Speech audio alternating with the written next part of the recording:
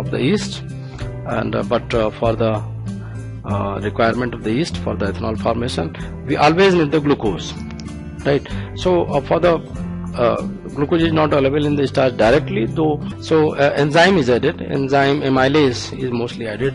Either enzyme can directly can be added or any kind of cell can be added like bacillus. Subtilis is best uh, for uh, um, this liquefaction.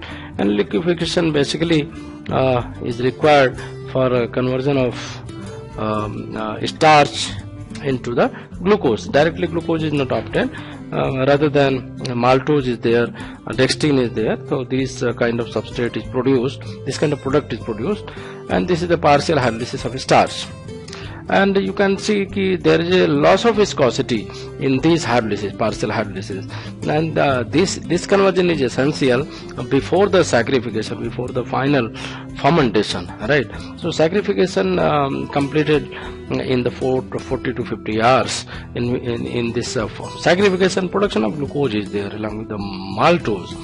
So um, gelatination is the first step in the uh, total mass is uh, uh, converted or heated uh, right? Uh, so uh, i- this after cooking and after fermentation there is a um, dextrose uh, there's a formation of dextrin and this percent hydrolysis of dextrin can be calculated by the dextrose equivalent that is the D. And uh, there are two steps uh, in the hydrolysis also uh, wet milling process and the dry milling process. Wet milling process is something different in which H2SO4 is added dilute H2SO4 is added. And uh, this uh, mess after mm, this powder along with the dilute H2SO4 left 24 to 48 hours. And these grains don't require separation. Uh, th- th- these grains require separation. A grinder is there. A grinder mm, uh, make them powder and then separation is done by some machines and uh, in which fiber is separated gluten is separated and starch uh, gets separated. And uh, these can be separated by the centrifugation process and the separated glu- gluten can be dried can be filtered and they can be made for the poultry feed and uh, such type of uh, uh, liquor is called as steeping liquor. They can be concentrated and dried uh, for the poultry and rest of the ethanol uh, obtained after the uh, action of Saccharomyces cerevisiae. And that, that, ethanol undergoes the distillation and this distillation you can get the final ethanol. One can see what is the temperature pH and time requirement for these all operations uh, for my massing uh, you can see the mixing of water is there hot boiled water is mi- mixed and the pH must be around 6 uh, and time requires not more than 10 minutes. Liquefaction is the hydrolysis of the starch um, and uh, starch can be hydrolyzed by the use of alpha amylase enzyme. And alpha amylase enzyme uh, concentration required 100 to 100 unit per gram of corn. Temperature little bit higher 70 to 80 degrees centigrade is the favorable. And optimum temperature pH uh, has no change. Time requires little bit one hour uh, or two hour.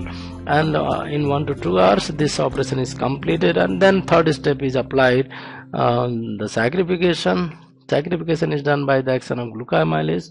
Glucoamylase glucoamylase um, the little bit lower concentration of enzyme is required. That is 120 unit per gram car. And uh, temperature is around 60 to 65 degrees centigrade. Ph uh, a little bit lower. And time is half an hour required for this uh, saccharification completion. Now uh, this whole um, this whole mixture is ready for the fermentation and after that yeast can be added a little bit in higher concentration yeast added 1.5 to 10 power 8 per ml temperature is 30 to 32 degrees centigrade ph is 5 and time required from 1 hour to 1.5 hours. So totally 40 to 45 uh, 45 hours or more than 60 hours even sometime required for the complete fermentation all right? And then uh, we can see this is the operational unit uh, of the ethanol conversion uh, in the US uh, Louisiana state. And you can see there are two uh, different uh, milling processes there. One is the dry milling process wet milling process. And there is a lot of difference uh, between these two processes but mostly dry milling process is most favorable and at large scale production of ethanol from the corn. Dry milling process uh, is assumed to be operative and uh, beneficial and also sometimes economical. Uh, but uh, for this grinding is the one of the most uh, important criteria. And this uh, grinded powder form of corn can be separated and then enzymatic liquefaction is done by the addition of um, bacillus subtilis. And then uh, another uh, in another fermentation vessel uh, where saccharification and fermentation goes simultaneously enzyme and yeast both are added. And you can see uh, after the enzymatic action um, um, the dextrin is obtained after the hydrolysis of uh, starch and uh, yeast uh, the favorite substrate of the yeast is glucose or fructose or sometimes sucrose is there. And then ethanol obtained undergo the distillation and distillation uh, ethanol can be obtained and whatever the solid residue left? Uh, is called as the steeping liquor. And uh, these dried distillate grain can be dried uh, centrifuge can be separated to obtain a um, feed animal feed that is very nutritious and rich in various nutrients useful proteins are there. And another process is the wet milling process. You can see the in wet milling process uh, the uh, ethanol can be obtained from the corn by the chemical treatment is there very simple treatment chemical treatment. Uh, either dilute ester can be used for the steeping or for uh, SO2 uh, gas can be used and uh, then uh, degermination there defi defibering is there by the use of machines. And after the machines uh, and the gluten separation is there. This gluten can be hydrolyzed or liquefied by the enzyme. And these enzyme convert this starch into the glucose. Uh, dextrin or sometimes maltose is there. Then um, addition of yeast uh, is uh, done for the fermentation for the ethanol production and this uh, uh, CO2 a lot of CO2 evolution takes place. That's indicative of the completion of fermentation. Uh, even you can see in the distillery plants there is a lot of CO2 produced during the fermentation. And these ethanol can be distilled for production of ethanol uh, concentrated ethanol that can be used uh, uh, for many processes.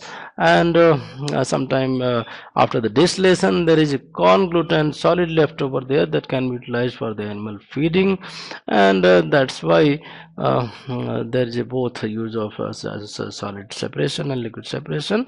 So meshing unit uh, the purpose is to separate out to reduce to separate out the reducing end and non-reducing end by the action of various enzyme. And there are various enzyme uh, beta amylase is there alpha amylase is there limit dextrinase is there. You can see the green color uh, the branching these enzymes attacks as branching and uh, branching of sugar unit and thus a sugar unit thus can be separated. Red color shows the action of alpha amylase. They are a kind of endoamylase which acts between the sugars and breaks 1,4 um, glycosidic bond and uh, blue color you can see the beta amylase is there. And beta amylase is some kind of exoamylase which uh, can act from outside in and thus uh, they can um, break down the starch into different components and the hydrolysis and fermentation ensures that uh, that ethanol will form after the um, conversion of uh, uh, starch to glucose and glucose to ethanol. And you will see the chemical composition of various starch. Various starch can be used for the ethanol production. Corn wheat barley sorghum rice potato sweet potato. The corn has the highest concentration of starch some some 8 to 10 percent of the proteins. And um, potato a little bit 9 to 25 percent starch very low potato uh, low starch and sweet potato you can see 10 to 30 percent starch is there. And this is the again the configuration of amylo starch uh, configuration of starch and starch consists of amylose and amylopectins and alpha in this uh, slide you can see the action of alpha amylase is there and then uh, glucoamylase action is there. Glucoamylase especially breaks the branches. Branching is done at alpha 1 6 bond. And that's why glucoamylase um, breaks the uh, amylopectin especially. And if uh, glucoamylase we are not adding the possibility is less that this branch will be uh, degraded and alpha amylase acts, acts on uh, both linear chain uh, either in the amylose and the amylopectin and they are mostly breaking the alpha 1 4 bond. So this is the amylose. Water soluble and they can be identified from the amylopectin by the treatment of iodine. Iodine gives purple color with the amylopectin while uh, with the amylose they give the blue color. Uh, this is the depiction of uh, which uh, microbes can be used. Fungus also can be used like aspergillus. Bacteria can be used like bacillus subtilis. Temperature requirement is very very uh, important for the fungus and bacteria. Um, this must not be changed. And uh, temperature is almost same for bacteria and fungus while ph is little bit different and this is the um, graph uh, showing the um, um, showing the relation between the pH and enzyme activity. If you see the there are two temperature 40 degrees centigrade and 70 degrees centigrade. At 40 degrees centigrade the enzyme is very very less active and enzyme activity decreases after some time while at 70 degrees centigrade uh, the activity of enzyme is very high. So you can ensure that there is 100% conversion of starch into the uh, dextrin or maltose. And similarly oligosaccharide dextrin further can be degraded into the glucose um, by the action of a glucoamylase. Optimum temperature is 4 to 5 and uh, temperature is 58 to 60 degrees centigrade. So sometimes saccharification can be combined with the fermentation. And you can see the activity optimum temperature of glucoamylase action is 60 degrees centigrade where enzyme activity is high. This process is called the saccharification so after saccharification the fermentation is performed by the yeast and uh, ethanol can be obtained at optimum temperature. This is the end of the slide. Thank you very much